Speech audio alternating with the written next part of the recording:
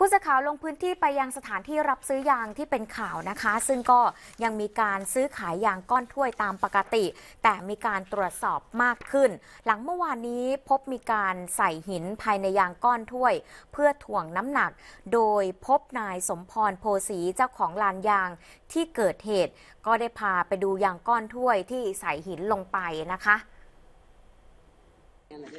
คือมันเจตนาแบบ อืมก็จิตตั้งกันเอานะใส่ตั้งเอามาอันนี้เอาไปสักวันเออรถตัวขันเฮ็ดจังซั่นเออมันบ่แมันเฮียใส่อืมเดี๋ยวก็เสียงไว้ในนี่ผู้ซื้อกระย่านนี่แหละเนาะโอ้ยคอยเสียไปว่างั้นเป็นแสนได้ไหมไงอืมนอนยางสองก้อนนี่ละมีก้อนที่สองก้อนที่สาม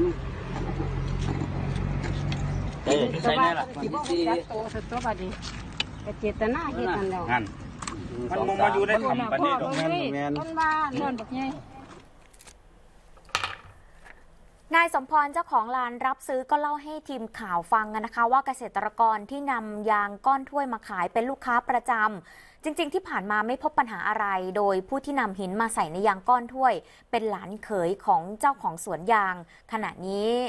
ทราบตัวแล้วนะคะ ก็ได้มีการเจรจาตกลงความเสียหาย และทางคณะกรรมการเครือข่ายสถาบันเกษตรกรชาวสวนยางพารา ได้ภาคทันผู้กระทำผิดไปเรียบร้อยแล้วด้านนายสำริดอารันศักชัยผู้ช่วยผู้อำนวยการการยางแห่งประเทศไทยจังหวัดหนองบัวลำพูบอกว่าได้ติดตามเหตุการณ์ที่เกิดขึ้น ซึ่งถือเป็นครั้งแรกที่มีการตรวจพบในพื้นที่ จากนี้ไปจะเข้าไปติดตามสวนยางพารา ร้อมแจ้งจุดที่มีการรวบรวมยางของกลุ่ม หรือสถาบันเกษตรกรในพื้นที่ทั้ง 32 จุด ให้รักษามาตรฐานสินค้า ให้มีคุณภาพดีเช่นเดิมนะคะ นี่ก็เป็นอีกหนึ่งกรณีที่เอามาเตือนภัยสำหรับคุณผู้ชมนะคะ ก็ต้องระมัดระวังกันด้วย เพราะว่าตอนนี้ก็มีกลโกงกันเยอะแยะมากมาย ซึ่งกรณีนี้นะคะ เคยเกิดขึ้นแต่ว่าเกิดไม่บ่อยนักค่ะ ที่ผ่านมาก็พบเป็นการโกงในลักษณะของการ